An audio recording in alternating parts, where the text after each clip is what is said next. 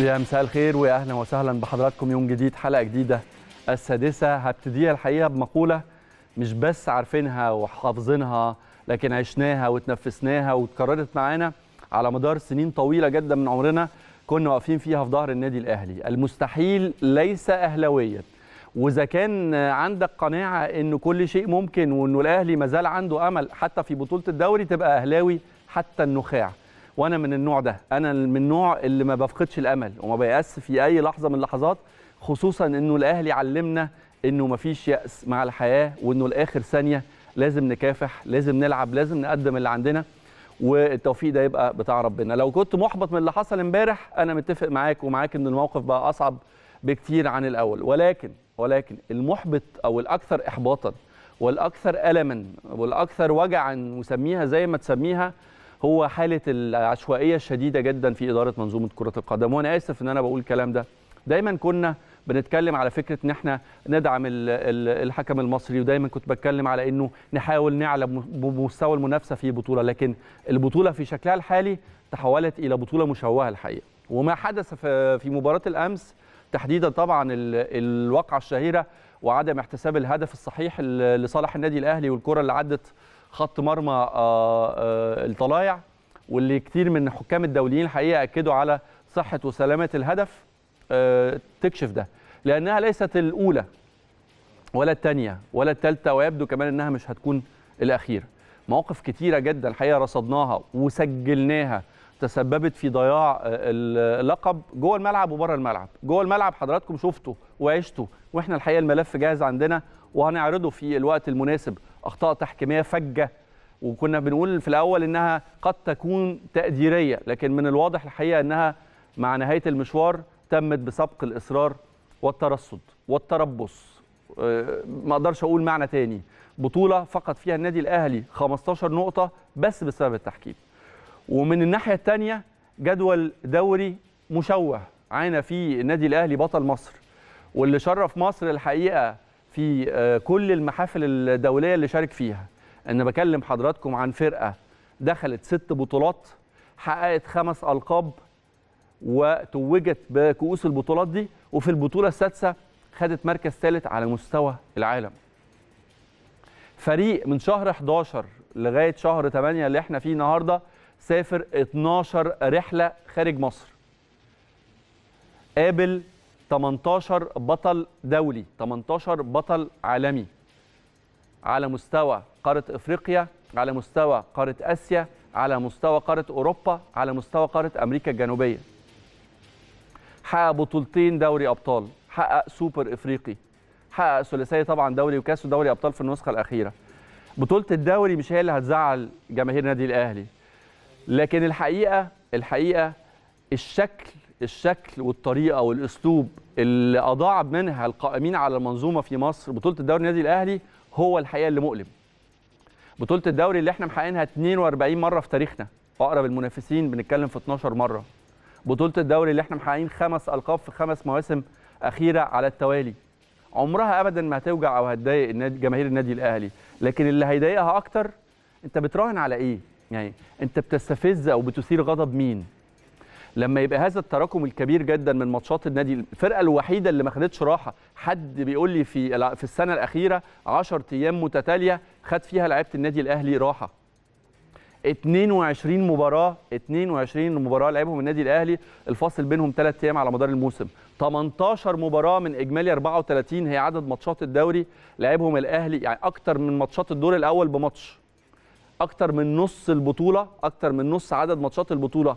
بمباراة لعبهم الأهلي في 55 يوم بس من الموسم. بتعاقب الأهلي ليه؟ على كل الأحوال اللي عايز أقوله بس وأنا ما زال عندي أمل ما زال عندي أمل تعودت كده. يعني التجارب أصلها الكلام مش موضوع حب وانتماء وغيرة والى آخره لا ده ده ده ده تاريخ. دي مواقف كتير جدا متسجلة مواقف كتير جدا أنا شخصيا عشتها. فأنا مع فرقتي وفي ظهرها لغاية آخر ثانية في عمر الدوري. يجي لقب لينا ما يجيش. أنا واقف في ظهر فرقتي وانتمائي لكيان الأهلي مش مرتبط بشكل من الأشكال بتحقيق البطولات. على كل الأحوال النادي الأهلي النهارده طبعا طلع بيان. خليني أبتدي حلقة النهارده بنص البيان اللي طلعه النادي الأهلي. النادي الأهلي بيحرص على دائما على إعلاء المصلحة العامة والتعاون مع كافة عناصر المنظومة الرياضية لا سيما اتحاد الكرة ولجانه بما يساعد على نجاح المسابقات ودعم المنتخبات الوطنية. حتى وإن وقع عليه الضرر في بعض المباريات بسبب الأخطاء التحكيمية الفجة والمتكررة. وآخرها ما جرى في مباراة الأهلي وطلائع الجيش أمس من جانب حكم اللقاء وحق وحكم الفيديو المساعد التي كشفت أن مثل هذه الأخطاء منذ بداية الموسم لم تكن تقديرية. لذا يود النادي التأكيد على النقاط التالية. اولا التقدير الكامل للجهد الكبير الذي بذله لاعبو الأهلي وجهازهم وجهازهم الفني والإداري والطبي على مدار الموسمين المتلاحقين ايا كانت هوية بطولة الدوري هذا الموسم. فقد حقق هؤلاء بطولة الدوري للمرة الخامسة على التوالي وكأس مصر في الموسم الماضي ودوري ابطال أبطال إفريقيا موسم 2019 2020 والميدالية البرونزية في كأس العالم للأندية 2019 2020 والسوبر الإفريقي موسم 2019 2020 ودوري أبطال إفريقيا المرة الثانية على التوالي موسم 2020 2021 بالإضافة إلى أنهم يستعدون للمشاركة في كأس سوبر الإفريقي في قطر سبتمبر المقبل وكأس العالم للأندية التي ستقام باليابان ديسمبر القادم. ثانيا لم نجد تفسيرا لتكرار الأخطاء التحكيمية في مباريات الأهلي على وجه التحديد التي أفقدت الفريق 15 نقطة في سباق الدوري وهو أمر يطرح تساؤلات عديدة عن سر غياب العدالة. ثالثا قمنا بمخاطبة اتحاد الكرة مرات عديدة وحذرنا من تكرار الأخطاء غير المقبولة للحكام التي نسفت مبدأ تكافؤ الفرص بين الفرق المتنافسة وتلقينا وعودا بتطوير منظومة التحكيم ورغم كل هذا ومع استئناف فريق الأهلي لمبارياته المحلية عقب الانتهاء من مشاركاته الإفريقية لم تتوقف عند هذه هذه الأخطاء واثرنا التحمل فوق الطاقة حرصا على نجاح واستكمال المسابقة وحتى لا يتشتت تفكير لاعبينا بمثل هذه الأمور خاصة أنهم يعانون من إجهاد بدني وذهني غير مسبوق بسبب ضغط المباريات وهو أمر لن نقبل به مرة أخرى. خاصة أن تراكم المباريات على فريق الأهلي كان لداع أهم وهو اللعب باسم مصر في البطولات الدولية والتتويج بألقاب قارية. رابعا إزاء ما يحدث من غياب للعدالة في مباريات الأهلي فإن النادي ينتظر رد اتحاد كرة القدم بشأن استقدام حكام أجانب من التصنيف الأول لمباريات الأهلي في بطولتي السوبر المصري وكأس مصر على أن يتحمل النادي التكاليف كاملة وإيجاد حلول قاطعة مع لجنة الحكام والقائمين عليها قبل انطلاق الموسم الجديد للحفاظ على حقوق كل الأطراف. ده كان بيان إدارة النادي الأهلي والأهلي ولنا تعقيب. بس اسمحوا لنا نروح لنادي الأهلي وزميلنا كريم أحمد من داخل النادي عشان نعرف آخر تطورات استعدادات النادي الأهلي لمباراة المصري المهمة جدا. طبعا الفريق النهارده واصل تمريناته بدون راحة. خلينا نروح لكريم ونعرف آخر التطورات. كريم مساء الخير. مساء الخير عليك زميلي العزيز أحمد. طبعا كل التحية ليك ولكل جمهور النادي الأهلي. خليني أطمن منك على عارف طبعا إنه في الفترات الأخيرة وفي المباريات الأخيرة كان دايما الجهاز الفني بيبقى حريص على إنه يدي الفريق راحة 24 ساعة عشان يحاول يخفف من حالة الإجهاد يخفف من حالة ضغط المباريات الشديدة جدا اللي عانى منها الفريق في الفترة الأخيرة. لكن في استعداداتنا المصري قرر الجهاز الفني إنه يواصل التدريبات. طمني كمان على حالة محمد شريف سمعت إنه دخل التمرين حالة بدر بنون ومدى جاهزيته لمباراة الغد. يعني المعالم الرئيسية لتمرينة النهارده كريم. بالتأكيد طبعا يعني بنلتمس الحقيقة كل العذر للاعبين والجهاز الفني على الضغط الكبير الحقيقة في المرحلة الماضية. تلاحم مباريات كبير جدا مجهود على اللاعبين سفر كثير جدا على فريق النادي الأهلي. ويمكن بنقول في كل مرة لاعيبتنا هي اللي فرحتنا خلال الفترة اللي فاتت ببطولات. فرحت جمهور النادي الأهلي ببطولات في ظل صعوبات كبيرة جدا. يمكن في سوء توفيق طبعا معانا. الأمل آه ضعيف زي ما بنقول وفي صعوبة كبيرة جدا. الأمل موجود لكن على الحسابات وعلى الترتيبات إن شاء الله بإذن الله يقدر النادي الأهلي بقى يحضر بشكل جيد جدا للمرحلة القادمة. القادمه عندنا عدد كبير جدا من البطولات إن شاء الله بإذن الله بجديتنا وبإصرار اللعيبة وبشخصية النادي الأهلي المعتادة والمعروف عليه إن شاء الله بإذن الله تكون المرحلة القادمة مرحلة انتصارات وبطولات لفريق النادي الأهلي. بدون راحة مباشرة والحمل الكبير اللي على فريق النادي الأهلي النهارده قرر الحقيقة موسيماني إن يكون تدريبه اليوم في الساعة الخامسة. الجو مقبول شوية طبعا بالنسبة للتدريب لكن حالة الاجهاد باينة على اللعيبة. يعني أقدر أقول لك النهارده الجرعة التدريبية ما كانتش لكل اللعيبة. طبعا كل اللعيبة اللي شاركت في طبعا شاركت خلال مباراة الأمس يعني ريحت شوية بالنسبة للبرنامج التدريبي ليه والباقي طبعا خد جرعة تدريبية قوية منها طبعا جزء بدني بسيط ومنها تقسيمة مصغرة كده في منتصف الملعب. لكن بشكل عام أطمنك طبعا على عدد من اللاعبين على رأسهم محمد شريف اللي النهارده شارك في جزء من التدريبات وجزء فيه كورة الحقيقة. ويمكن ده مؤشر مهم جدا إن إحنا نطمن على محمد شريف خلال المرحلة القادمة بنامل إن شاء الله كمان غدا يأخذ جزء أكبر من التدريب ومنها إن شاء الله ننتظر قرار موسيماني والقرار الطبي لمحمد شريف إن هو يكون متواجد في مباراة المصري أو يفضل النادي الأهلي راحه محمد شريف. عمرو السوليه بيعود من جديد بدر بنون الحقيقة بيشارك النهارده في التدريبات. وليد سليمان الكل الحمد لله بيعود للتدريبات الجماعية لفريق النادي الأهلي. إن شاء الله بإذن الله المرحلة القادمة بإذن الله تكون كل اللعيبة جاهزة. ومباراة المصري إن شاء الله بإذن الله يستطيع النادي الأهلي يحقق فيها الفوز ويحضر بشكل كبير جدا للمرحلة القادمة. أنت عارف زميلي أحمد خلاص يمكن في هذه اللحظات التدريب انتهى لفريق النادي الأهلي. غدا يكون في نفس الموعد 5 عصرا على ملعب مختار التتش. ومنها إن شاء الله السفر إلى الإسكندرية استعدادا لمباراة النادي المصري. كابتن خطيب كان موجود النهارده في التمرين يعني كلمني يتكلم مع الجهاز يتكلم مع اللعيبة. ولا حضر بس لمتابعة التمرين الحقيقة طبعا يمكن الكابتن محمود الخطيب طبعا كالمعتاد بيكون متواجد في المواقف يمكن اللي بيكون طبعا محتاج إن هو يكون متواجد فيها لكن أقدر أقول لك النهارده ما وقفش مع اللعيبة في الملعب كعادته طبعا وفي منتصف الملعب على قد ما هو بس يمكن جه تابع بشكل بسيط جدا للتدريبات الرسالة واضحة طبعا مش محتاجة كلام الكابتن محمود الخطيب اللعيبة كلها عارفة والجهاز الفني عارف إن في حزن كبير جدا طبعا على فقد النقاط خلال المرحلة الماضية لكن النادي الأهلي لابد إن هو يكون في غلق الصفحة ولابد يكون في دوافع جديدة والمرحلة اللي جاية هتشهد إن شاء الله انتفاضة كبيرة جدا للنادي الأهلي ويا رب إن شاء الله كل البطولات اللي جاية سوبر محلي سوبر أفريقي وصلنا إن شاء الله من جديد لكأس العالم للأندية كل البطولات إن شاء الله تكون في دولاب بطولات النادي الأهلي. إن شاء الله بإذن الله. شريف موجود شفناه في التمرين. عارف كمان إنه طبعا السولية هيكون عودة في مباراة المصري. بدر بنون عارف كمان إنه بيتم تجهيزه. فأطمن منك شفت بدر تابعت بدر النهارده في شايف إنه جاهز لماتش المصري ولا لسه ممكن يكون بعيد شوية؟ لا يعني أقدر أقول لك طبعا عمرو السولية طبعا حصوله على ثلاث انذارات انتهى أيوة. عمرو السولية بدنيا وطبيا جاهز إن شاء الله لهذه المباراة. وبدر بنون الحقيقة اللي يمكن النهارده كان بيأدي تدريب مميز مع فريق النادي الأهلي الجاهزية إن شاء الله تكون كاملة مع تدريب الغد ومنها إن شاء الله يكون جاهز بكل قوة في مباراة المصري. الكل الحمد لله جاهز بالنسبة للغيابات اللي كانت الفترة اللي فاتت. لكن بأكد لك على جاهزية بدر بنون تحديدا ووليد سليمان يتبقى بس محمد شريف النهارده يمكن شفناه في جزء بسيط زي ما أكدت لك. زميلي أحمد غدا تدريبه يكون كامل. يا رب إن شاء الله محمد شريف نطمن عليه بشكل كبير جدا غدا في تدريب الغد ومنها في مباراة المصري. لو متواجد إن شاء الله في التشكيلة الأساسية كعادته طبعا وبقيمته الكبيرة إن شاء الله بإذن الله يقدر يصنع الفانق بالشكل الشخصي طبعا ويمكن بيحرز أهداف ويمكن يستمر في سلسلة الأهداف ويساعد فريق النادي الأهلي إن شاء الله في الحصول على الثلاث نقاط. إن شاء الله. بشكرك شكرا جزيلا زميلنا العزيز كريم أحمد من داخل النادي الأهلي. تعقيب سريع. واحد القائمين ومش بس بتكلم على المسؤولين الحاليين القائمين على منظومة الكره في مصر على مدار سنوات كتير جدا. يعني إلى أين وصلنا؟ يعني هل ده كان مستهدف؟ هل ده كان مخطط ليه؟ الحالة العشوائية اللي بتدار بيها منظومة الكره على مستوى البطولات المحلية وعلى مستوى المنتخبات بكافة أعمارها. أولمبي أول شباب. حالة العشوائية اللي بتدار بيها المنظومة دي إلى متى؟ يعني لابد إن ده سؤال يسأل. يعني أنا بتكلم إنه صناعة الرياضة في مصر النهارده صناعة كبيرة جدا ومهمة جدا ودولة عندها من الإمكانيات اللي تخليها واحدة من من دول قوية جدا مش بس على مستوى القارة الأفريقية على مستوى العالم كله الحقيقة. أنا شايف إنه مصر عندها مؤهلات إنها تكون دولة قوية جدا في رياضة كرة القدم قوية فنيا وقوية اقتصاديا. عندنا قواعد جماهيرية عظيمة جدا. عندنا عندنا أندية صاحبة شعبية وصاحبة تاريخ وصاحبة رصيد من البطولات كبيرة جدا. هل ده المشهد اللي إحنا بنشوفه المتكرر ده يصلح إن هو يكون في أهم مسابقة محلية في الدوري المصري؟ هل ده جدول مسابقة ينفع نقول عليها المسابقة الأهم على مستوى الكرة المصرية؟ يعني بأي عقل وبأي منطق.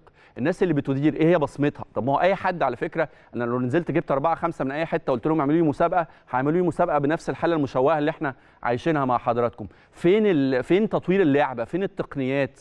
حتى الفار لما دخل بقى أصبح صداع أكبر من ما كانش موجود. يعني زمان كنا بنقول الحكم ما شافهاش الحكم بياخد قرار في ثانية فالناس نوعا ما يعني بتقدر تعدي الغلطة وممكن تقول إنها فعلا مش مقصودة. لكن النهارده لما بقى في تقنية الفيديو بقى كل شيء متشاف. الكرة بتتعاد مرة واثنين ولما بيتاخد القرار غلط وعندي اثنين حكام في الملعب حكم ساحة وحكم فار ويبقى في إصرار على الغلط حالة تعنت حالة تربص أعتقد طبعا دي الحالة بتاعت امبارح على الهوا زي ما حضراتكم شايفينها.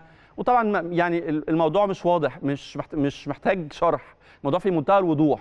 وأغلب حكامنا الدوليين اللي سمعتهم الحقيقة آه، قالوا إن الكره بشكل كبير جدا تحتسب هدف. لكن في النهاية ليه حالة الجدل موجودة؟ يعني عندي تقنية فار. ناس بتتكلم على الإخراج التلفزيوني على زوايا التصوير على على على جودة الكاميرات وجودة الريبلاي أو إعادة ال- اللقطات. ما إحنا عندنا حقوق رعاية وعندنا رعاة وعندنا حقوق بث تلفزيوني و... يعني ليه ما بيتمش الإنفاق على ال... على تطوير المنظومة؟ الأهم واللي يخصنا إحنا كأهلي أنا هنا بتكلم على الكرة المصرية والله كلها مش بس دفاعا عن النادي الأهلي لكن غيرة كمان على الحال اللي وصلت ليه الكرة المصرية على الحال اللي وصل ليه مسابقة الدوري المصري اللي بشوفها إنها تستحق تكون نمرة واحد في المنطقة حتى أقوى من دول الخليج برغم الامكانيات المادية الكبي- الكبيرة اللي بتتمتع بيها الأندية لكن ما عندهمش العنصر الأساسي لنجاح أي مسابقة. الجمهور ده موجود عندنا هنا في مصر. المواهب عندنا في مصر. عندك المادة الخام لإنك تصنع بطولة في منتهى القوة لكن إزاي تديرها؟ وازاي تخطط لها؟ ده شيء غايب اسمحوا لي من سنين طويلة مش من دلوقتي. الأهم وفي دقيقة واحدة قبل ما أروح لفاصل الأهم من ده إنه الموسم الجاي في منتهى منتهى منتهى الصعوبة على لعيبة النادي الأهلي. وإنه عندك تلاحم مواسم هيستمر ثلاث سنين متوالية. آه، آه، يعني أنت بتتكلم على إنه الفرقة دي أول ما تخلص بطولة دوري لاعبتها القوام الأعظم لمنتخب مصر هينضموا المنتخب في تصفيات كأس عالم. عندك كاس العرب في آه، شهر 12 عندك آه، كاس عالم للأندية في شهر 12 عندك كاس سوبر إفريقيا الأهلي ورجا كازابلانكا في شهر 9 عندك آه، بطولة إفريقيا دوري أبطال. عندك دوري محلي مجهول المعالم حتى اللحظة مش عارفين هيتلعب مش هيتلعب. هيتلعب مجموعتين هيتلعب مجموعة واحدة هيتلعب دور واحد هيتلعب دورين. شيء مش مش واضح. عندك أمم إفريقيا في الكاميرون. في يناير. عندك كأس العالم واستعدادات وتحضيرات كأس العالم. فأنت بتتكلم على موسم في منتهى منتهى منتهى الصعوبة. والأهلي لن يتنازل وجماهير النادي الأهلي لن تن- تتنازل عن طموحها المشروع جدا إنها محتاجة تنافس وتحقق كل لقب تاخده في الفترة اللي جاية. فأعتقد إنه النظرة لل- للمستقبل تقول إنه هذا الجيل طبعا له كل التقدير وله كل التحية وله كل الاحترام على الإنجازات العظيمة اللي اتحققت. أرقام الحقيقة هتتكتب باسمه في تاريخ النادي الأهلي بس بحروف من نور. ما أقدرش ما حدش يقدر ينكر عليهم ده لكن الجاي, كمان صعب والجاي كمان محتاج استعداد بشكل خاص ومعين. خليني أروح لفاصل وأرجع لحضراتكم مرة تانية في السادسة.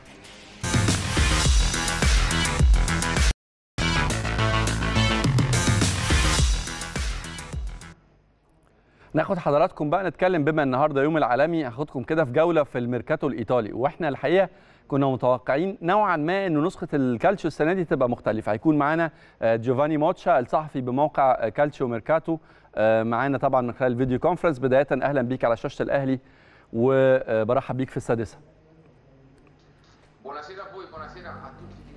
مساء الخير لكم مساء الخير على الجميع ومساء الخير على جمهور الأهلي.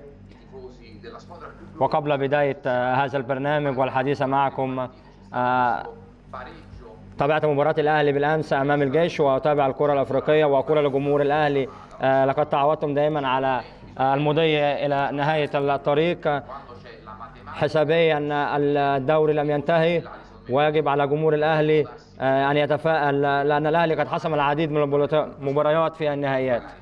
أتوقع أن الأهلي قد يحدث المفاجأة والمفاجآت موجودة في كرة القدم. الأهلي معروف لدينا هنا في نابولي وفي إيطاليا وأعتقد أن الأهلي قد يفعل شيئا من المستحيل في آخر البطولة. الأهلي عودنا دايما انه مفيش حاجة اسمها مستحيل وبشكرك الحقيقة وهعتبر كلامك ده في بداية لقائنا. بشرة خير. خليني بما إن لوجو نابولي منور في آه، في خلفيتك فخليني أبتدي بالكلام من من الجنوب وعن الجنوب وأبتدي بالحديث عن نابولي. كلام كتير في الفترة الأخيرة في المواسم الأخيرة طبعا على كوليبالي نجم آه، آه، خط دفاع نابولي. وكلام كمان عن إنسيني اللي تألق بشكل كبير جدا مع إيطاليا في يورو 2020 هل في جديد بالنسبة لهم؟ هل هيبقوا مع فريق نابولي ولا في العروض ما زالت بتتوالى عليهم.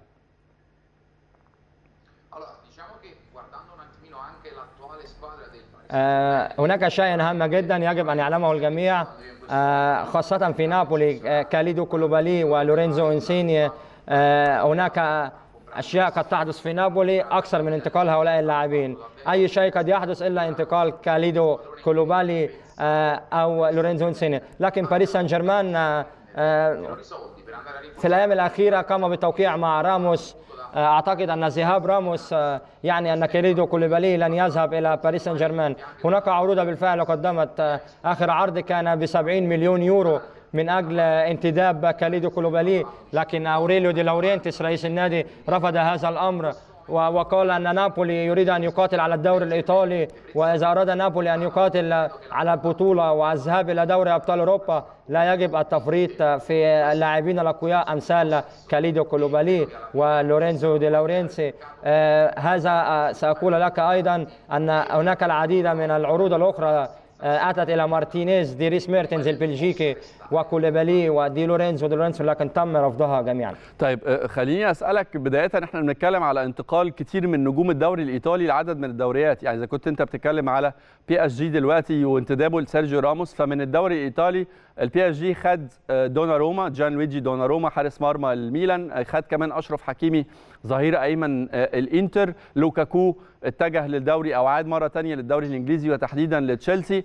إزاي بتشوف النسخة الجديدة من الدوري الايطالي الموسم الجديد بدون ال- الكم الكبير من النجوم اللي فقدهم.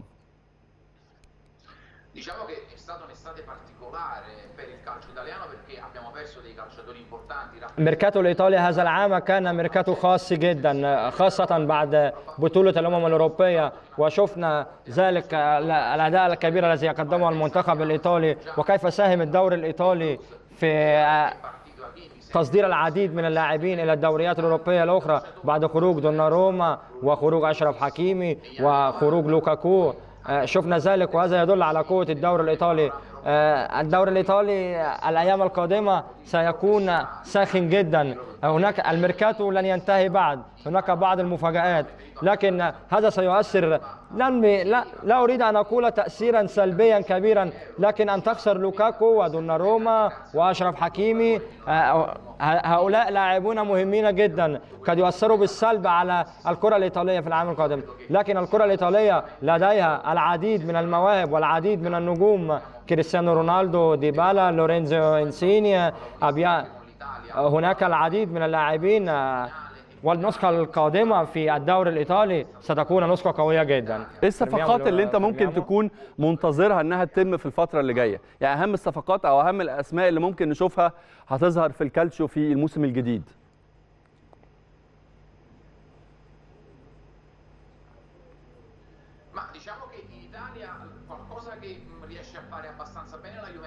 في إيطاليا العام القادم أقول للجميع انتظروا يوفنتوس لأن يوفنتوس فريق كبير وكبير جدا. ومن الصعب على اليوفي آه، أن يفرط في الدوري الإيطالي آه، أو الدوري ابطال أوروبا آه، خاصة بعد انتداب لوكاتيلي وتم تدعيم الصفوف ببعض اللاعبين الكبار وعودة ماسيميليانو أليجري إلى اليوفي اليوفي العام القادم سيكون أقوى الفرق الإيطالية. وانتظروا أيضا روما. روما الذي سوف يقدم أداء آه، كبير جدا مع جوزيه مورينيو. وهذا سأقول لكم آه، في الأمر القادم أن الدوري الإيطالي العام القادم سيكون مليء بالمفاجآت. طيب خليني. بمناسبه بمناسبة كلامك عن اليوفي كان في كلام عن محاولات من إدارة يوفنتوس استعادة نجمه آه، السابق أو نجمها السابق آه، بيانيتش من البارسا آخر التطورات.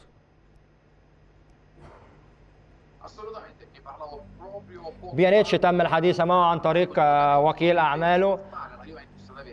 لكن آه، اللاعب رفض آه، العودة إلى يوفنتوس وأن يستمر في مكانه الآن ميرالين بيانيتش هناك العروض الكثيرة التي اتت له لكن هو يفضل يفضل البقاء في فاروق ورفض العودة إلى اليوفي. طيب. لأن اليوفي قد فرط في بيانيتش وهو لا, لا يريد أن العودة مرة أخرى. هفضل هفضل مع اليوفي وتحديدا من يوفنتوس رفض أن يعود مرة أخرى.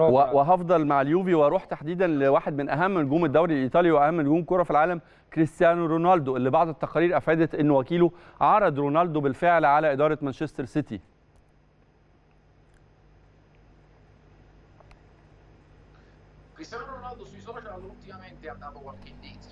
كريستيانو رونالدو الحديث الأكبر الآن في إيطاليا وبالأخص بعد آه، تويتر الذي قام بكتابه كارلو أنشيلوتي أنه يحترم كريستيانو رونالدو ويقدر العمل الكبير الذي قدمه البرتغالي في تاريخه الكروي الرياضي ولكنه يحتاج لاعبا آخر. هذا جعل رونالدو غاضبا جدا من حديث كارلو أنشيلوتي لكن رونالدو يبقى رونالدو. طيب خليني أسألك كمان على واحدة من الصفقات اللي آه، يمكن تهم عشاق الريال وتهم عشاق الميلان الإيطالي. الكلام على إسكو وإنه في محاولات من إدارة الميلان لاستقدام إسكو لصفوفه في خلال الميركاتو الصيفي. عام آه، يقدم أداء جيد جدا في الميركاتو. لأن باولو مالديني رجل لعب كرة القدم هو الآن المدير الرياضي للميلان. يريد أن يعيد الميلان إلى الواجهة آه، واجهة الروسونيري. الميلان فريق بطولات ولا أحد يستطيع أن ينكر ذلك. الإدارة الصينية ضخت العديد من الأموال ووضعت العديد من الأموال تحت تصرف باولو مالديني إسكو تلقى آه، عرض كبير وكبيرة جدا تم تقديمه من المدير الرياضي باولو مالديني إلى إدارة ريال مدريد ويتم دراسة العرض آه، ومن الأيام القادمة قد يتواجد في الميلان. سؤالي الأخير وأرجو منك الإجابة سريعا نجحت إيطاليا على مستوى المنتخبات طبعا في التتويج ببطولة يورو 2020 هل تتوقع أن واحد من الأندية الإيطالية يستطيع أنه يصل لمنصة التتويج على مستوى ال Champions League أو ال Europa League؟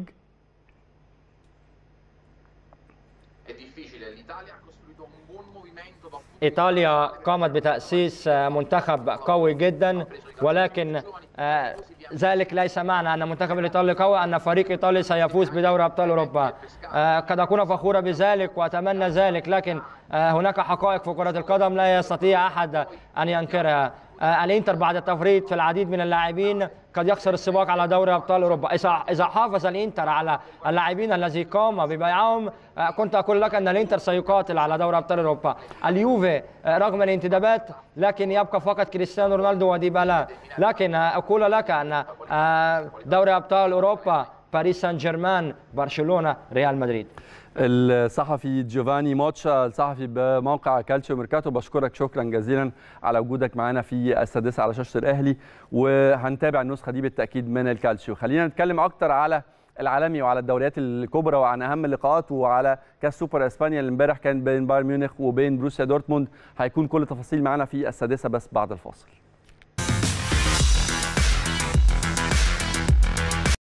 في الوقت اللي لسه مكملين الموسم عندنا هنا العالم كله بيحتفل ببداية موسم جديد وإحنا بنحتفل معاه.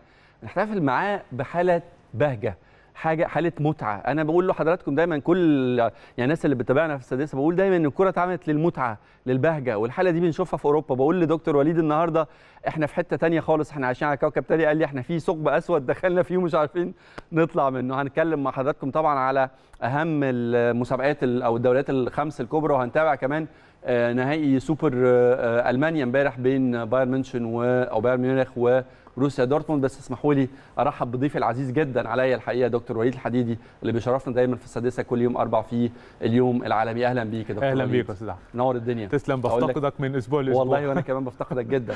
كل سنة وأنت طيب وبداية طيب. موسم يا آه رب. تكون سعيد واضح كده من البدايات إنه آه، في جرعة أكسجين. يعني بالذات كمان حتة حالة عودة ال- الجماهير للمدرجات محسساك إنه قد إيه الدنيا بقت مختلفة. شوف هو أنت تحس إن كانت الأندية الكبيرة تحديدا يعني مكبوتة كده وعايشة في في ضغط كبير. وأول بقى عودة الجماهير وانطلاق الموسم الجديد مع التسهيلات اللي بقت موجودة في مسألة الحضور الجماهيري اللي هو اللي هو روح روح كرة القدم وروح الرياضة في أي حتة في العالم. صحيح. وفكرة لما بنتكلم عن يعني التنظيم المحلي والتنظيم العالمي هو ف- دايما ال target مختلف بيننا وبينهم. هم بيبصوا للكره للكورة والرياضة طبعا وكرة القدم هي يعني كريزة التورتة بتاعت الرياضة. بيبصوا لهذا المنتج إنه منتج إمتاع ومنتج آه، بهجة و entertainment زائد إنه كمان بيجيب فلوس وزائد إنه كمان مكان للاستثمارات والاقتصاد عمل وفرص. عمل وكل حاجة فهي هي خلطة كده على بعضها خلطة حلوة. أيوه. وكل بيسعى من أول بقى النقل التلفزيوني لحد الحضور الجماهيري لحد التفاصيل بتاعة ال- ال- التقنيات حتى ال- ال- اللي بتستخدم في الكورة ومحاولة تطويرها لحد القوانين واللوائح اللي بتتحط لحد الفرص المتساوية للكل لحد الميركاتو وشكله كل كل تفاصيل. وقواعد اللعب المالي نظيف الناحية القانونية والتشريعية الناحية التقنية الناحية الفنية البنية التحتية العوائد والاقتصاد والاستثمار. بتتكلم في ناس بتتكلم لغة تانية هو في target. هو عايز يوصل لأن المنتج في الآخر اصله هيبيع إزاي بالظبط. غير لما يقدم لك ده في أحسن شكل ممكن مظبوط. فده target بره أتمنى إن يكون ده ال target هنا لأن إحنا بناخد الكورة في سكة تانية خالص غير الهدف بتاعها الأساسي وبقت عارف انت الحمل التقيل لما انت بتقعد اوقات كده يبقى عليك مسؤولية تقيلة علشان تعديها انت بتبقى عايز تستمتع وبتبقى عايز تشجع فريقك وتقعد تستمتع بس في الآخر ال ال الشكل النهائي اللي بيطلع بيخليك عارف حاسس ان انت أنا بتبذل أنا, جهد. سيبك من كل ده أنا سيبك من كل ده. أنا ما بطالبش بمعجزة أنا بطالب بمبدئين أساسيين لابد إن هم يتوفروا في أي مسابقة رياضية في أي رياضة. التكافؤ والعدالة. تكافؤ الفرص ولا أي مسابقة في الدنيا لابد إنها تقوم على العمودين دول ما هي دي الأزمة إن أنت أصلا بت بتطالب بحاجة ده هي أساس الأساس يعني أنت ده المفروض تحت الصفر ومن أول الصفر بقى نبدأ نبني نتكلم. المنتج أيوة. فأنت بتتكلم في حاجة أصلا إحنا مفتقدينها بشكل كبير في الكرة المصرية وللأسف ما ينفعش نتكلم فيها النهارده في 2021 و2022 في الوقت اللي العالم كله بيتعامل مع الكورة والرياضة بشكل صحيح مختلف. طيب أ- أ- أدخل معاك في موضوعنا عشان عندنا حاجات كتير النهارده بس. اسمح لي قبل ما ندخل هو يعتبر برضو حدث يعني عالمي. حدث عالمي آه بالتالي يعني الكرة الأفريقية النهارده بقت محط أنظار العالم كله طبعا ولما نتكلم على بطولة أفريقيا آه، بالتأكيد بطولة هيتابعها العالم آه، بطولة أفريقيا في الكاميرون والقرعة قرعة آه، البطولة اللي أوقعت مصر في مجموعة فيها آه، نيجيريا السودان آه، غينيا بيساو. إزاي بتشوف القرعة؟ وهل خدمتنا ولا؟ طبعا دي آه، طبعا ده سامويل إيتو امبارح في آه، ورابح ماجر وكانو من نجوم الكرة الأفريقية. طبعا اللي تألقوا بشكل كبير جدا في أوروبا.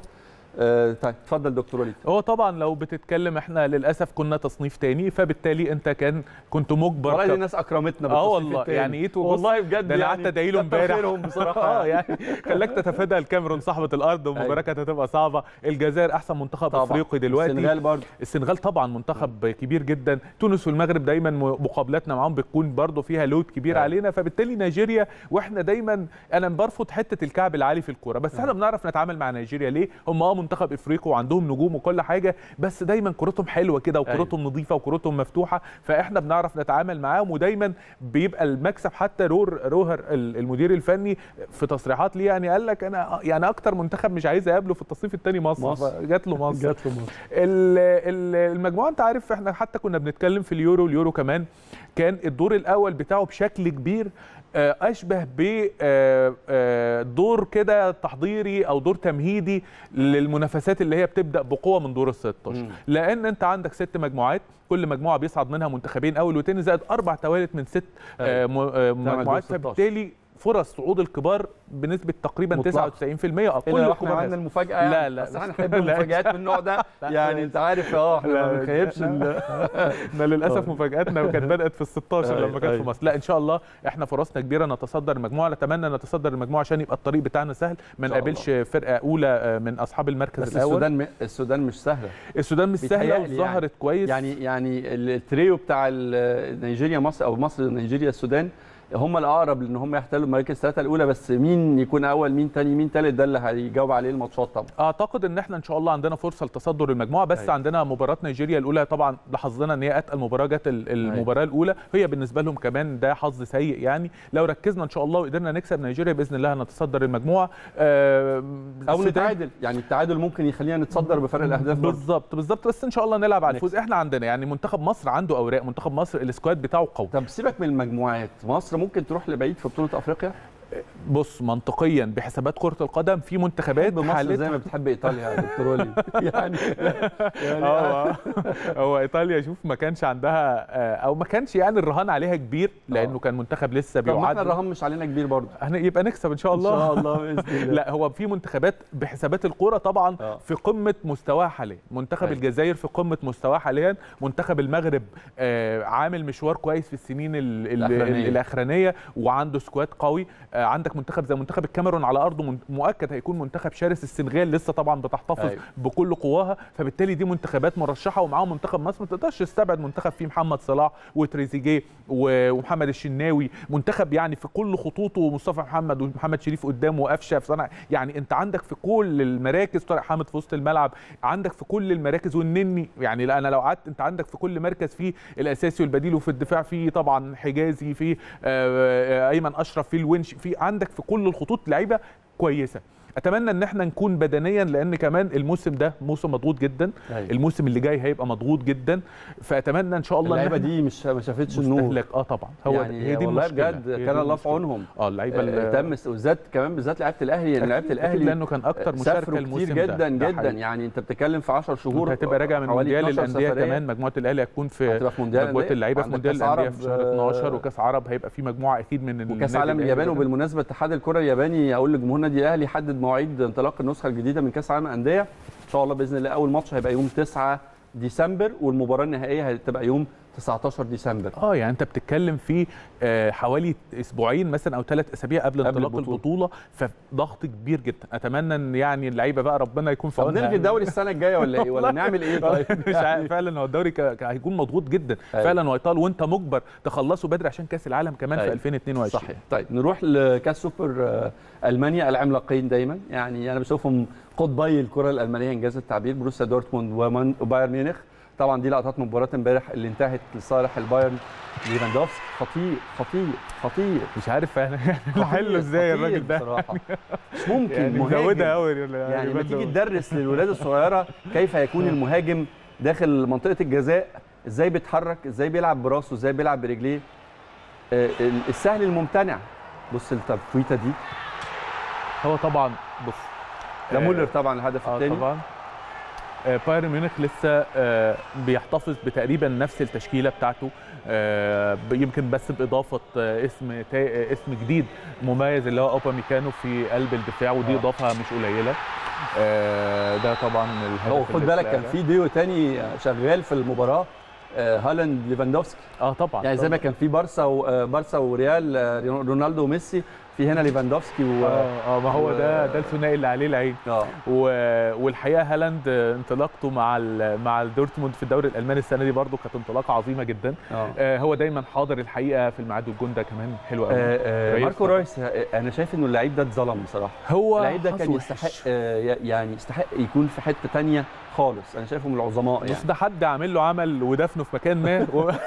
لأنه فعلا ماركو رويس من سنين وهو ال class بتاعه يحطه مثلا في برشلونة ريال مدريد. صحيح. ودايما هو كان قريب إنه يروح top آه. إيه في سواء برشلونة أو ريال مدريد أو حتى ممكن دوري نرجع. بس باللقطات تاني.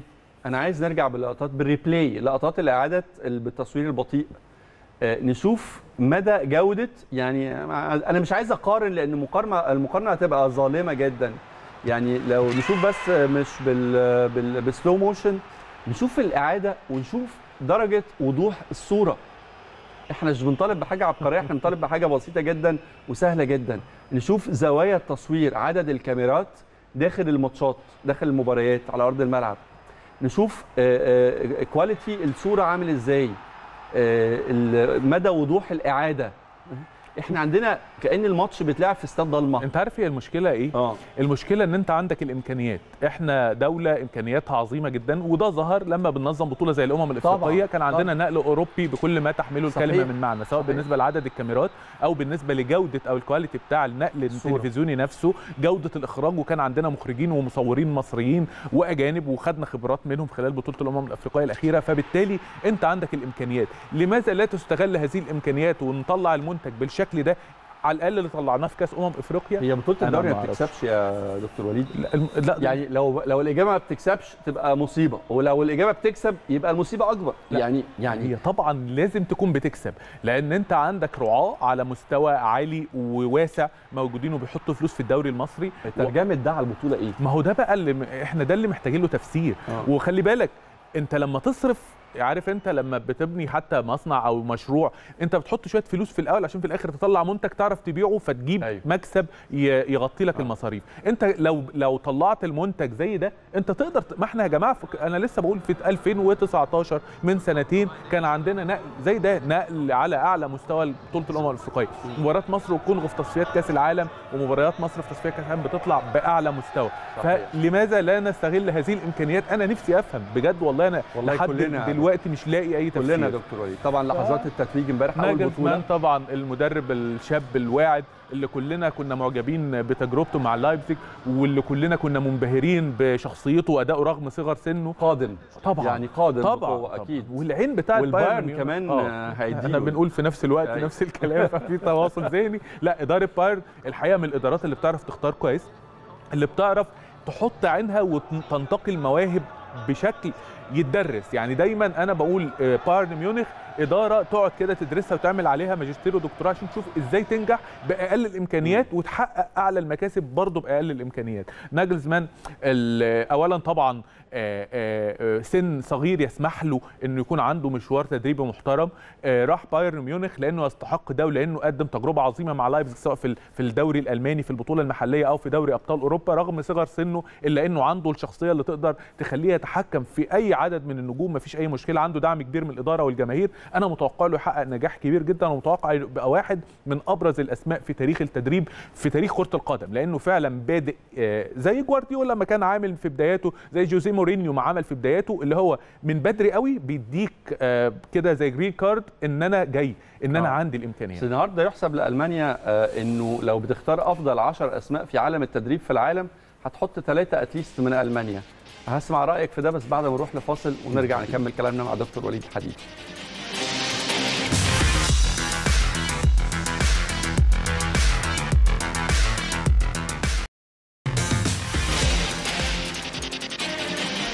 بفارغ الصبر مستني الحقيقة النسخة دي من ال Premier League. أنا بس قبل ما أدخل في ال Premier League وانطلاقتها وطبعا نتابع ال- ال- النجمنا المصري أو نجومنا المصريين في ملاعب إنجلترا كنت بتكلم مع دكتور وليد. لو- النهارده بنتكلم على أهم 10 أسماء في عالم التدريب في الساحره المستديرة لابد انك انت تحط ثلاثة أو أربع اسماء منهم من ألمانيا وانت مغمض. فيعني رأيك وخصوصا إن ده ما كانش متعارف عليه يعني المدربين الالمان ما كانوش دايما من ال CVهات أو الناس الثقيله في عالم التدريب يا دكتور وليد. ده حقيقي. اولا زي ما كنا بنتكلم حتى قبل الهوا يعني من حوالي 10 15 سنة مثلا لو كنت بتجيب أحسن 10 مدربين في العالم كان صعب قوي تحط فيهم اسم من ألمانيا. أيوة. كنتش هتلاقي. حتى اللي كان ناجح في ألمانيا تلاقي ناجح مع بايرن ميونخ بس آه. أوتمار هيتسفيلد مثلا يعني. أيوة. لكن كنت تلاقي من إنجلترا مثلا أو في الدوري الإنجليزي أرسين فينجر فرنسي مع أليكس فيرجسون اسكتلندي بيشتغل في انجلترا. مم. كنت هتلاقي طلاينة كتير بقى فابيو كابيلو ليبي غيره. آه أنشيلوتي طبعا. كنت هتلاقي جوزيه مورينيو وقتها. كنت هتلاقي كمان بعدهم بيب جوارديولا ظهر. آه ديل بوسكي كان وقتها برضه مسيطر مع يعني كل الأسماء تلاقيهم أسبانيا آه فرنسا.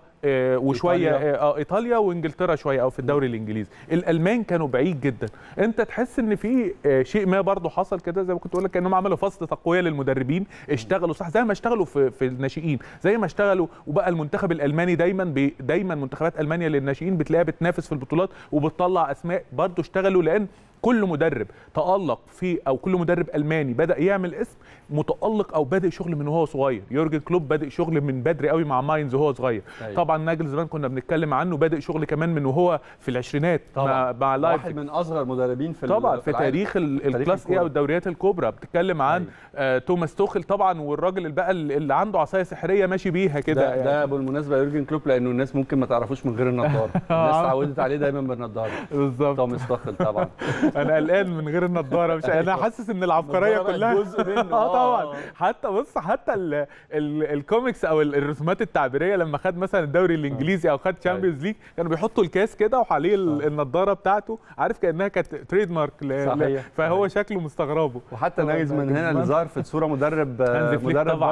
بايرن. تحس إنه لسه في الناشئين. يعني آه بس من لاعب. هو كان لاعب في آه، الناشئين لاعب؟ طلع يقول في المنتخب. هانز فليك طبعا هانز فليك، آه بيلحقونا هم زمايلنا في في الإخراج يعني هانز فليك واحد عامل موسم أسطوري واحد واخد سداسية أيوة. وكمان جاي بعد نيكو كوفاتش آه، اللي هو فريق منهار زي بالظبط توماس توخل أنت تحس إن الألمان دول بيعرفوا سكة النجاح إزاي يعني هو بيبقى عنده مقومات النجاح وبيعرف يستخرج أفضل حاجة من كل حد لأن هانزي فليك زي تجربة توماس توخل مع تشيلسي هانزي فليك جه على فريق شبه منهار بايرن أيوة. ميونخ بعد نيكو كوفيتش راح خد سدا- سد- سداسيه ست بطولات وتجربة كلوب و, و, و, و دورتموند في. توخل في لا أنا بتكلم على تجربة الألمان خارج حدود ألمانيا هو ده. يعني ناجلسمان مع البايرن آه، آه، طبيعي إنه البايرن يوفر في أندية بتوفر للمديرين الفنيين آه، يعني الن- خطة النجاح آه، إنك أنت تنجح معاه ده أمر سهل وإن أنت بقى عندك أحسن تشكيلة آه، في الدوري لكن فلازم لكن تكسب. لما تروح أنت من ألمانيا تروح تدرب فريق زي ليفربول وهو بعيد بقاله سنين جدا آه من الفرقة اللي ليها تاريخ وبطولاتها بس بعيد, بعيد وما. بينافسش لما توخل يروح فرقة زي تشيلسي في نفس الموسم اللي هو فاز فيه بدوري الأبطال كانت فرقة مبتديه الموسم كاسوء ما, يكون مع فرانك لدوري الأبطال السنة. وتعمل معاهم ال shift ده ده يقول إنك عندك ناس آه، سينيه اهو ده بالظبط هو ده اللي خلاك تحط المدربين الألمان في هذا ال class ليه لأن المدرب الألماني اللي نجح جوه ألمانيا أنت بتعر... يعني جوزيه مورينيو لما خد مع بورتو ال Champions League اضحى إنه مدرب كبير وكده بس ما تقدرش تحكم عليه بقى وتحطه ضمن الأساطير إلا لما راح خد Champions League مع إنتر ميلان مثلا أيوة. لما راح تشيلسي وكسر الدنيا معاه أيوة. ساعتها ممكن تحطه في هذا المستوى فالمدربين الألمان لأنهم نجحوا وظهروا وتألقوا جوه ألمانيا بدأوا يخرجوا بره وبدأ إثبات تألقهم ده وبالتالي لازم تحط دلوقتي لو بتحط مدارس تدريبية في العالم لازم تحط في المركز الأول دلوقتي ألمانيا وعلى الأقل الأول مناصفة. فدي تجربة برضو تستحق الدراسة. صحيح الحقيقة نروح للدوري الإنجليزي Premier League الدوري الأقوى تهيألي يعني لو أنت تتفق معايا على مستوى العالم النسخة دي تبدو إنها أكثر سخونة أكثر إثارة. آه، كتير من الفرق دعمت صفوفها قبل في الميركاتو بشكل محترم. في مقدمتها آه، المان يونايتد عمل صفقتين أنا بشوف إن هم هيفرقوا معاه كتير خصوصا إنه كان في بوادر من الموسم الأخير إنه عايز يرجع عايز يقدم نسخة آه، مانشستر يونايتد بتاعت آه، فيرجسون أليكس فيرجسون آه، بكلم على بقى جيل كانتونا و- وبول سكولز وراين جيجز سولشاير نفسه طبعا نفسه بعد كده صحيح. طبعا. فمن ده إنه برضه من ال underrated. بول سكولز ده من اللعيبة ال underrated. اللي لما يتحط تشكيلات تاريخية دايما بيتنسي مش آه. عارف ليه مع إنه أيوة. واحد من أعظم اللاعبين في التاريخ آه. الحقيقي فاران طبعا قدامنا واحدة من الصفقات المهمة جدا في الدوري الإنجليزي كله مش بس طبعاً. ال- طبعا ل- و- وسانشو أنا بشوف سانشو الحقيقة لعيب خطير جدا إضافة عظيمة طبعا آه، رأيك في انطلاقة الدوري الإنجليزي وتوقعاتك لشكل المنافسة في النسخة دي شوف هو واضح إن كل الكبار واخدينها جد قوي آه. الميركاتو قدر الإمكان طبعا أكيد الكورونا أثر وفكرة الفلوس وكده أثرت بشكل ما لكن كله حاول يعمل أفضل حاجة ممكنة وكله واخد الأمور أنت بتتكلم في جولة يعني ما فيهاش تعادلات كل الناس بتسعى للمكسب وكل الناس جاية بقوة خصوصا الكبار. لأن آه السنة دي الموسم ده ما حدش من الأندية المرشحة بنتكلم عن ستة كبار في في إنجلترا يمكن بنتكلم عن خمسة دلوقتي إذا كان أرسنال خد خطوة لورا أيوة. شوية. فبتتكلم عن مجموعة أندية مش هتسمح بأي مفاجآت. وفقا للتشكيلات ووفقا للسكواد وفقا للتحضيرات وللميركات وكل حاجة أقدر أقول لك إن إحنا عندنا أربع أندية آه، أو ثلاث أندية يعني آه، تتوقع في هيكون منافسة. بينها المنافسة نظريا وهي طبعا بتتكلم عن مانشستر يونايتد تشيلسي مانشستر سيتي الثلاثه رغم هزيمة بالترتيب؟ مانشستر سيتي لا مش بالترتيب هو آه. وما أقدرش أرتب ليفربول؟ صعب ليفربول آه عنده مشكلة رجع عنده مشكلة عنده مشكلة إنه كان محتاج تدعيم أفضل من كده في الميركات. هو آه. طبعا جاب إبراهيم آه، كوناتي أيوة. وده قلب دفاع آه، واعد جدا ودي وده مركز كان آه، عنده فيه مشكلة ليفربول لكن كمان ليفربول عنده مشكلة في وسط الملعب. إحنا شفنا آه، وسط الملعب قدام نورويتش في في المباراة الأولى يحط جيمس ميلنر وميلنر أصلا ما كانش لاعب أساسي وتشامبرلين ليه ليه ما فكروش يرجعوا كوتينيو؟ يعني أنا كنت شايف إن الوقت ده مناسب جدا والأزمة اللي بيمر بيها البارسا وكوتينيو اللي مش لاقي نفسه في في في في الدوري الأسباني ولا في الدوري الألماني كنت شايف إنها صفقة يعني win win situation زي ما بيقولوا. كوتينيو هيستفيد والليفربول هيستفيد وبرشلونة هيستفيد. ما حدش ليه فكر في حاجة زي كده. لأن آه، فلسفة لعب يورجن كلوب مش هتناسب كوتينيو دلوقتي. okay. كوتينيو لما كان موجود وكان معاه مثلا لويس سواريز وكان يعني كان شكل أداء ليفربول مناسب لكوتينيو. طريقة الأداء لما كان بيلعب بثلاثه تحت رأس الحربة. دلوقتي الاربعه ثلاثة ثلاثة ممكن جدا ما تلاقيش مكان لكوتينيو فيها لأنه مش هيأدي جناح زي صلاح وزي ساديو ماني. مش هيلعب جناح زيهم. وفكرة إنه يلعب رقم 10 أو يبقى لاعب من لاعبي رقم 10 ما هو هو ده مكانه طبعا طبعا. وفيرمينيو بس ساعتها انت هو آه، يورجن كلوب بيلعب 4 3 3 آه. فساعتها تستغنى عن واحد من الثلاثي اللي المفروض يعملوا لك أداء دفاعي وكمان هو, يأدي هو هجومي. كده كده عنده آه، فينالدوم خلاص bye bye. ما هو فينالدوم كان بيدافع كويس آه. آه كان بيكمل بس بيدافع كويس كوتينيو مش هيدافع فأنت هتبقى بتلعب بطريقة أقرب ل 4 2 3 1 آه. دي مش مش فلسفة يورجن كلوب ولو حط زي ما قلت لك كوتينيو آه لاعب ثالث في وسط الملعب يبقى كده بيخسر لاعب دفاع وهتعمل له مشاكل دفاعية فهي دي بس هي يعني هي الفلسفة الفنية مش مناسبة حد. يبقى عنده فان دايك ويحتاج لعيبة في نص الملعب تدافع يعني ربنا يحميه والله يكمل بقى ال season من غير مشاكل آه فرق طبعاً. كتير مع الليفر طبعا وفكرة كمان إنه ما لعبش اليورو ده كان قرار ذكي منه آه. لأنه كان كان هيتأثر بدنيا جدا. هو الراجل مركز جدا إنه يبدأ الموسم وهو في أتم ال- وهو كان ظهر الحقيقة في المباراة الأولى بشكل كويس. تراهن على تشيلسي الموسم النسخة دي؟ لازم. آه. يعني تشيلسي اولا قدم أفضل نسخة ممكنة مع ختام الموسم الماضي توجها بفوز مستحق بدوري الأبطال. أيوة. زائد كمان بيعمل إضافات وبيجيب لوكاكو أيوة. و و و وهذا المهاجم العظيم. لأن كان في مشكلة عند تشيلسي إنه دايما اللمسة الأخيرة إلى حد ما عندك تيمو فيرنر بيتحرك كويس ويفتح مساحات وكل حاجة بس عنده ال touch الأخير فيه. مشكلة. فلما تحط لوكاكو على المجموعة دي بقى وتحتيه ميسون ماونت وتحتيه هافرتس وتحتيه بوليسيتش وتحتيه له حكيم زياش كمل طبعا كانتي وكوفازيتش وجورجينيو. لا أنت بتتكلم وطبعا لسه آه، آه، اسبيليكويتا في في في عز مستواه. آه، تشالوبا اللي طالع لنا ده وحاجة عظيمة جدا يعني لا الفرقة طبعا مندي الحارس الإضافة الكبيرة بعد أخطاء كيبا. فلا أنت عندك تشكيلة متكاملة كمان اتقوت بوجود لوكاكو. فلازم يكون مرشح لأنه عنده ثبات. الفريق تحس إنه خلاص الهارموني بتاعه كله فهم بعضه. استوعبوا الثلاثه 4 3 أو 3 5 2 بتاعة توماس توخل. فالفريق جاهز لأنه يكسب اي بطوله يدخل فيها. فطبعا لازم تحطه من ضمن المرشحين ومانشستر سيتي كمان لازم تحطه رغم الهزيمة في- من توتنهام. يستحق الهزيمة من وجهة نظرك؟ لا هو طبعا عمل مباراة كبيرة. وخلي بالك معظم المباريات حتى ال season اللي فات اللي مانشستر سيتي وقع فيها كان بيبقى مانشستر سيتي هو الأفضل. بس دايما مانشستر سيتي محتاج راس حرب. أنا شايف إنه مع مين؟ مين أقرب؟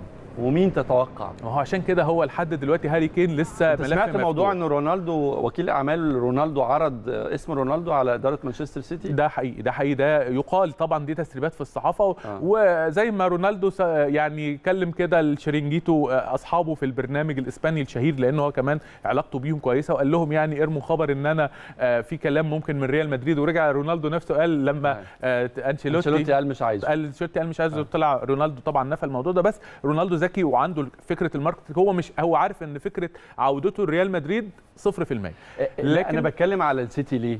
أنا بتكلم على السيتي لأنه آه، رونالدو ex يونايتد. وأنت عارف السيتي وال- ولا يفرق واليونايتد. ولا يفرق معاه ولا يفرق معاه آه. لأن خلاص هما آه، واحد زي كريستيانو رونالدو عدى يعني القصة دي. المرحلة دي آه عدى المرحلة دي. لا ما فيش أي مشكلة. بس ألعب لفرقتي اللي ابتديت فيها ويعني ما فيش الكلام ما فيش. الكلام ده. وأعتقد إن وارد جدا. هو كده كده قد يكون هذا هو الموسم الأخير لكريستيانو رونالدو مع يوفنتوس. لما يخلص خلاص وهيبقى فري من هو الموسم لو الجاي. سيتي هيبقى بي اس جي آه، هو هو دول بيتشي صعب. ليه؟ لأن آه، الموضوع هيبقى صعب على رونالدو نفسه وعلى ميسي. آه.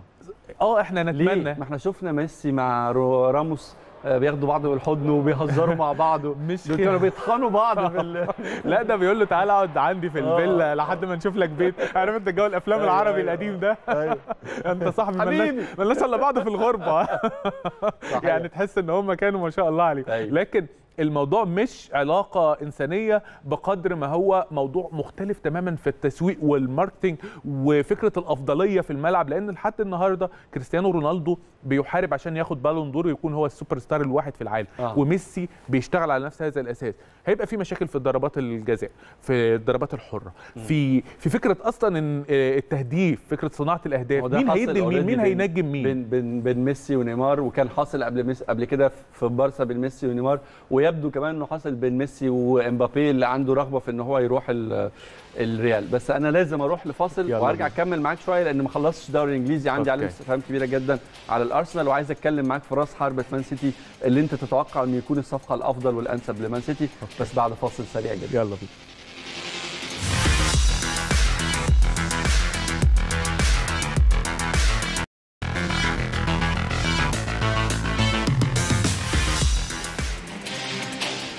إذا لم يكن هاري كين ولم يكن كريستيانو رونالدو فمن يكون مهاجم السيتي المنتظر؟ دكتور وليد مرة تانية أهلا وسهلا بحضرتك.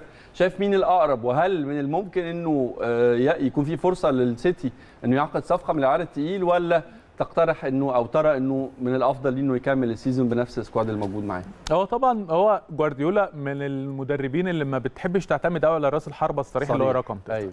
و نجح محليا وحتى اوروبيا وصل final Champions League السنة اللي فاتت يعتبر ما كانش معاه مهاجم برضه صريح ما كانش فيه استغلال كبير لجابريل جيسوس وحتى سيرجيو أجويرو. آه، هو حتى لما بيلعب سيرجيو أجويرو برضه عنده أفكار إنه بيتحرك وكده فمش هو المهاجم الكلاسيكي اللي نعرفه. كان من نجوم ال season اللي فات مثلا بس هو. هو كان عنده رغبة في ان هو ينتدب. هاري كين وبالتالي يبدو إنه فكره كان إنه يعتمد على على هجيلك مهاجم. يعني هجيلك.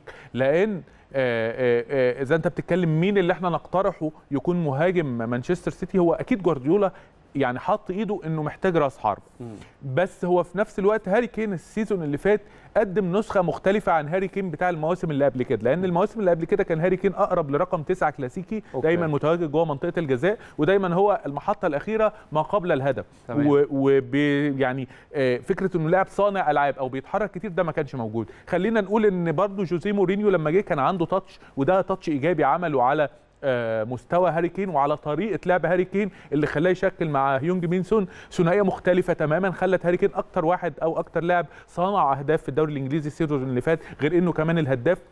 فبالتالي قدم نسخة مختلفة لهاري كين وهذه النسخة هي اللي تناسب مانشستر سيتي جوارديولا. وبالتالي إدارة مانشستر سيتي برغبة جوارديولا ما أيوة. عندهاش أي نية إن هي تتعاقد مع مهاجم تاني بخلاف هاري كين دي, دي الطريقة اللي. لعب بيها جوارديولا في آخر ماتش ليه أو يعني في أول ماتشات الدوري مع آه، توتنهام الإنجليزي. آه هو طبعا يعني أنت بتتكلم أهو عن طريقة أقرب يعني لكل خط فيه ثلاث لاعبين أيوة. لكن هو كان بيعتمد على فيران توريس مثلا اللي هو جناح أصلا كان بيعتمد عليه بشكل كبير كلاعب مهاجم. هو ما كانش عنده مهاجم فهو آه، آه، محتاج مهاجم.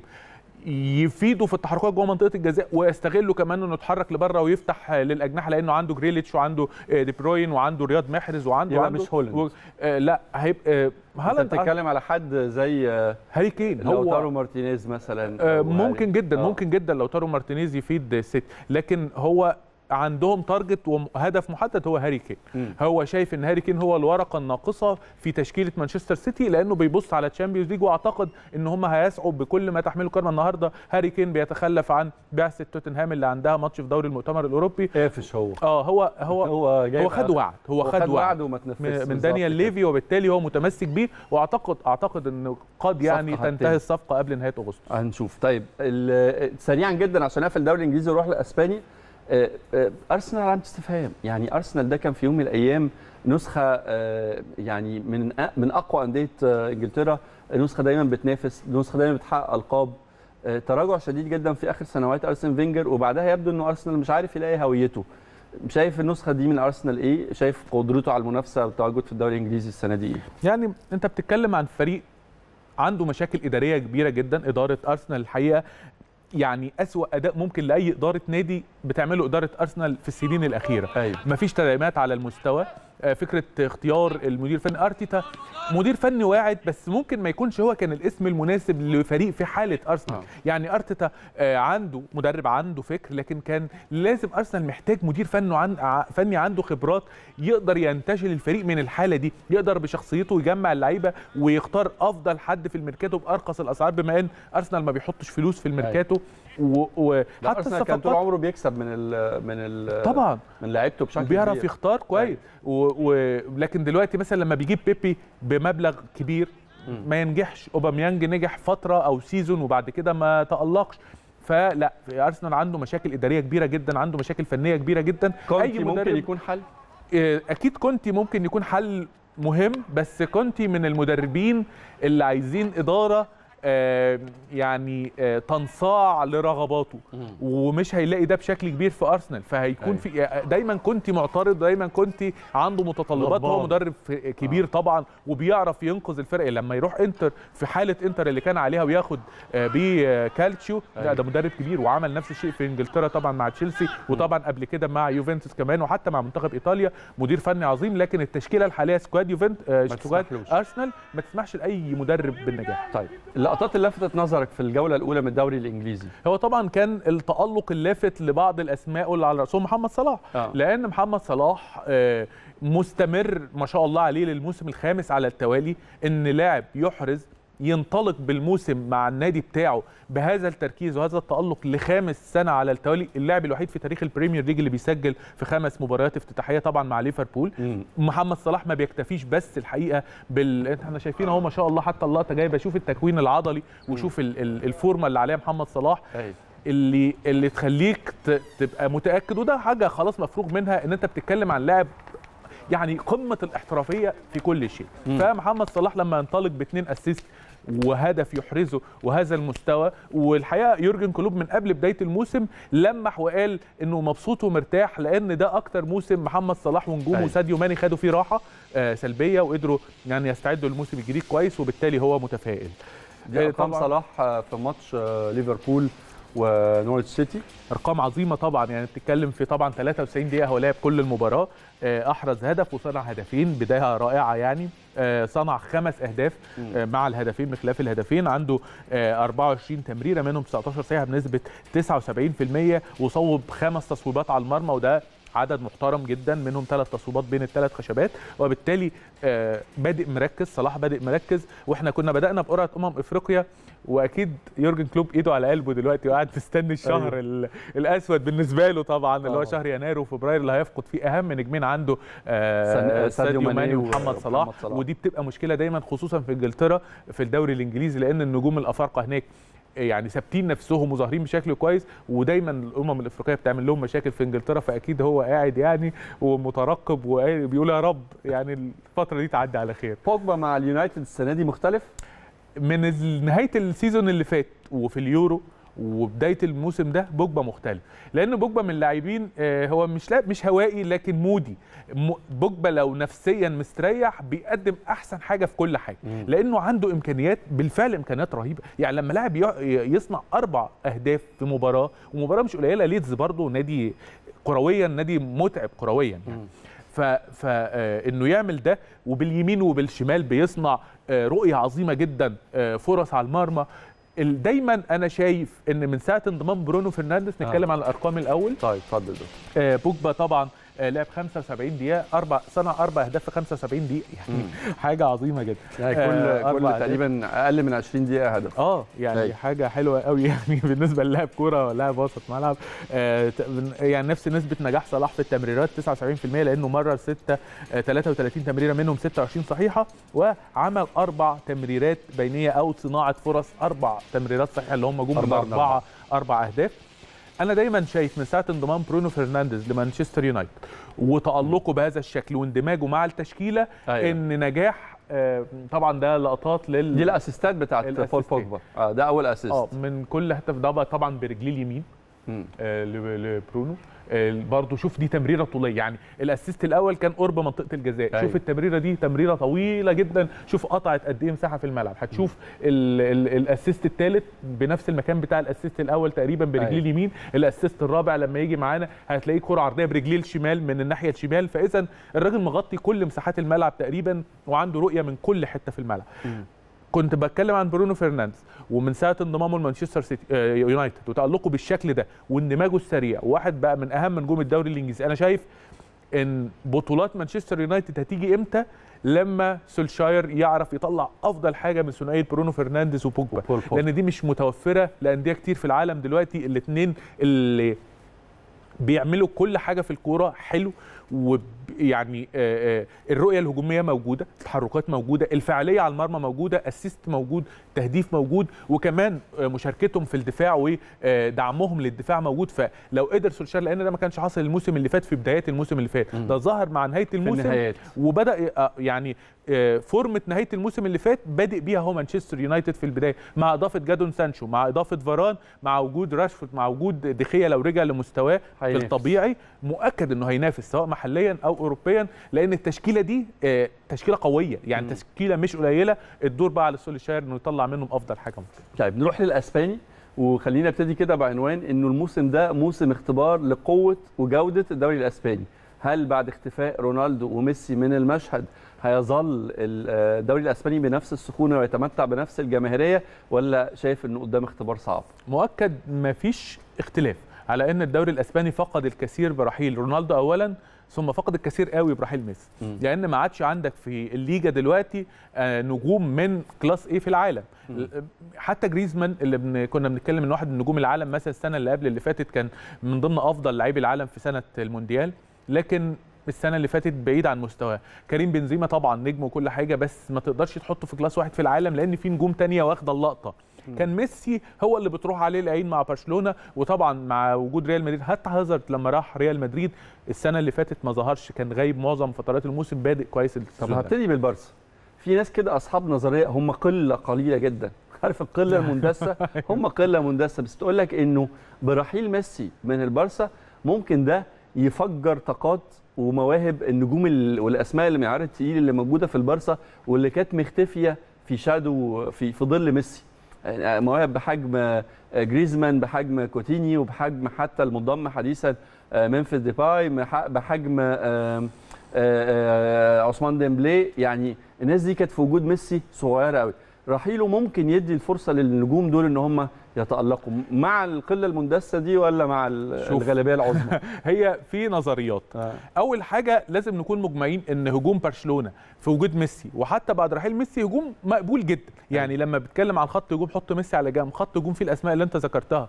آه جريزمان عثمان ديمبلي آه آه ممفيس اضافه ديباي. اضافه إضافة ليهم ممفيس ديباي آه بتتكلم في هجوم عنده آه مقومات الفرقة اللي آه يعني حلو شكلها الهجومي حلو. حتى من نص الملعب بتتكلم حتى عن ديونج وبيدري. أعتقد برضو قادر طبعا بقوة طبعا يعني. بدري وديونج كمان آه. من وسط الملعب عندهم اللمسة اللي تقوي خط الهجوم. ف آه، آه، آه، الفرقة دي هجوميا كويسة. يبقى بقى ال الاختبار اللي أنت بتتكلم عنه لأن كلها نظريات. هل المجموعة اللي المفترض إن هي مجموعة مميزة هجوميا هل هتستطيع زي ما أنت بتقول إنها تثبت إن هي كانت لعيبة كبيرة وطبعا معاهم كوتينيو المفروض. لو كمل كمان. ليه آه. ليه دور لا كوتينيو هيلبس 10 دلوقتي آه طبعا آه طبعا هيلبس 10 خلاص آه آه، يعني دي في حد ذاتها 14. يعني مسؤولية كبيرة. مسؤولية كبيرة جدا تقيلة. ودافع كمان يعني طبعاً. أنا ملبس تيشيرت 10 في في بارسا بعد ميسي ده ده دافع كبير جدا إنه. يكسر الدنيا. وكوتينيو عنده بصراحة أنا عنده- بشوفه كلاعب كورة لا عنده عنده كتير أثبت كمان. ده مع ليفربول وحتى لما راح الأعارة لبايرن ميونخ كان برضه متألق لما أيوة. بيشارك كان متألق وكان آه، آه، مميز يعني. لكن هو ما ظهرش مع برشلونة. يمكن برضه هو أدواره قريبة شوية من أدوار ميسي لأن هو بيلعب بيحب يلعب كلاعب free. فالمفترض إنه خلاص في غياب ميسي زي ما أنت بتقول هي حطت مسؤوليات. إحنا بقى منتظرين هذه المسؤولية هيتعامل معاها اللعيبة إزاي؟ أنا هجوميا حاسس إن برشلونة هيفضل مميز طول الموسم هيبقى شكله حلو أزمة برشلونة الحقيقية السنة دفاعياً؟ دي واللي قبلها واللي قبلها هي المشكلة الدفاعية مم. لأن آه، بيكي غايب عن مستواه بقاله فترة طويلة أيوة. امتيتي ما كانش. آه، يعني آه، أيوة. أحسن حاجة لونجلي برضو اللونجلي مش- طبعا كان بعيد جدا خصوصا ال season- اللي فات كان سيء جدا جدا يمكن السنة اللي قبلها كان أفضل من كده بكتير فإيريك جارسيا تدعيم لكن لسه لاعب شاب في عنده شوية هفوات لكن هو كخامة مدافع خامة كويس. لكن لسه طبعا المشكلة الدفاعية كبيرة. وخلي بالك مش بس المشكلة الدفاعية في برشلونة في قلب في قلبين الدفاع لكن آه. كمان في وسط الملعب لأن بوسكيتس أحيانا بيقع بدنيا. ديونج محتاج يكون ليه تكميلات وبيدري تكميلات دفاعية أكتر من كده. أعتقد لو كومان وهو أصلا مدافع واحد من أحسن المدافعين في التاريخ حل المشكلة الدفاعية دي برشلونة هيكون شكله حلو ال season ده. ترتب لي فرص الثلاثة الكبار في آه، أسبانيا. في آه، تتويج بالبارسا. أتلتيكو بارسا ريال. آه، لو نجوم ريال مدريد كلها في مستواها الطبيعي. يعني لو هازارد في مستواه الطبيعي وبنزيما في مستواه الطبيعي وثلاثي خط الوسط قدم المستوى اللي بيقدموه برضه الطبيعي سواء كازيميرو أو أو مودريتش أو حتى فالفيردي وألونسو فأعتقد إن ريال مدريد ممكن يكون سابق خطوة وبرشلونة واتلتيكو مدريد يكونوا في نفس المستوى إن كان أتلتيكو مدريد عنده الثقة عنده الثبات عنده الفلسفة بتاعه آه، آه، آه، سيميوني اللي بيعرف يكسب بيها مهما كان شكله لأنه بيعرف يخنق أي مباراة ويخرج بيها منها باللي هو عايزه لكن لو بتتكلم عن ترتيب منطقي وفقا للنجوم وفقا لل- لل- للمعطيات يعني ريال مدريد واخد نص خطوة قبل؟ أتلتيكو وبرشلونة اتلتيكو برشلونه راس براس. راس براس آه. أقوى ثلاثة squad في أوروبا من وجهة نظر دكتور وليد بالترتيب بالترتيب هو آه، آه، squad ولا أقوى فريق يلعب كورة. يعني أقوى طب اسماء أنا هقول لك حاجة أقوى ثلاث فرق في أوروبا ك squad وأقوى ثلاث فرق في أوروبا بيلعبوا كورة. بص أقوى ثلاث فرق في أوروبا بيلعبوا كورة آه، مش بالترتيب خد ثلاثة كده. ويعني تمام. آه. آه، ممكن تحط تشيلسي. تمام. آه، ممكن تحط آه، مانشستر سيتي. مم. ممكن تحط آه، كمان بايرن. آه، ولا إيه؟ وتحط بايرن آه كأداء مش كأسماء كأداء آه والله بايرن كأسماء برضو مش وأسماء يعني كبيرة سيبك بس. من من من ال market value بس هم كأسماء يعني آه، آه، وإحنا نسينا باريس سان جيرمان. أنا بص أنا حاسس إن باريس سان جيرمان ده كأسماء في حتة لوحده يعني آه. أنا يعني ما ينفعش تقارن أسماء باريس سان جيرمان بكل الناس يعني تمام. حط باريس سان جيرمان رقم واحد أيوة. بكل الكتيبة اللي عنده بقى دي. إحنا بنتكلم ك squad آه، squad باريس سان آه. جيرمان طبعا رقم واحد آه. في كل الخطوط عنده class A وعنده تمام. أفضل لعيبة في العالم في كل الخطوط. ماشي. وحتى بع- بإضافة هاري كين ممكن نعتبر إن هاري كين هيروح مانشستر سيتي أو حتى في ظل التشكيلة الحالية ممكن تحط مانشستر سيتي بعد بعد PSG. باريس آه باريس سان جيرمان وكمان تشيلسي وفقا مش. مش للقيمة السوقية لكن وفقا للمستويات اللي بيقدمها نجومه ممكن برضو تحطه آه في مركز ثالث أو من ضمن أفضل أفضل دوري هيتابعه دكتور وليد النسخة دي مفيش خلاف على ان الدوري الإنجليزي حاليا هو أفضل دوري وأنا بما إني محب لايطاليا فهيكون رقم اثنين بالنسبة لي إسبانيا دوري. للأسف أكيد وقع أكيد وقع جماهيريا وقع تسويقيا منتظرين يبقى في منافسة لكن مهما كان مش هيبقى بنفس حالة. طبعا ميسي وميسي ورونالدو الدوري الفرنساوي هيكون ليه مشاهدة على مستوى العالم ال season ده بس وباريس سان جيرمان باريس سان بس جيرمان، آه آه. لكن إنه كبطولة وكده لا هي بطولة بعيدة المستويات بعيدة بخ... بعد باريس سان جيرمان الحقيقة المستويات قليلة جدا استمتعنا بيك النهارده دكتور وليد كالعادة طبعا شرفت ونورت السادسة وإن شاء الله ننتظر لقائك الأسبوع اللي جاي تسلم أنا دايما بتشرف كده بس. معاك. لسه بقى هيكون آه في يمكن في. نتائج ومفاجآت تجي لنا ونعرف نتكلم فيها إن شاء الله. نشكرك مرة تانية على وجودك. معانا شرفتنا ونورتنا. في السادسة. نشكر حضراتكم على متابعتنا ونقابل حضراتكم إن شاء الله مع بداية أسبوع جاي. كل التوفيق لفرقتنا إن شاء الله. عندنا بطولات كتيرة جدا الفترة اللي جاية. الشهر اللي جاي على طول سوبر إفريقيا آه، رجا كازابلانكا. بعدها إن شاء الله بشهرين هنكون موجودين في كأس العالم في اليابان. كل الدعم لنجومنا اللي قدموا وعملوا اللي عليهم. وما زال الأمل باقيا. كلامي ده مش معناه إن إحنا استسلمنا. المستحيل ليس اهلاويا. زي ما ابتديت الحلقة بختمها. شكرا لحضراتكم على متابعتنا النهارده.